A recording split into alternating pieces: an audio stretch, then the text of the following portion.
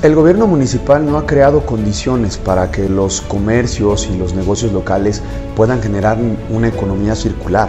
No han promovido incentivos, se la han pasado extorsionando y cobrando a los negocios. Ha sido un gobierno opresor, un gobierno extorsionador y lo que necesitamos es generarles condiciones a los comerciantes, a los empresarios locales, incentivos fiscales, fomentar la economía circular, que es una de las propuestas que yo estoy presentando y ofreciendo a las y los texmeluquenses. Consumir local y que la economía desde la parte de campo hasta el último sector productivo que sería empresa giren en torno a una economía. Lo que queremos es que el dinero de los texmeluquenses se quede en San Martín Texmelucan con los texmeluquenses. Hay dos proyectos. El proyecto de una reelección extorsionadora y corrupto y el proyecto de un cambio verdadero, de un gobierno de la esperanza, de un gobierno de la gente, un cambio verdadero con gente de San Martín.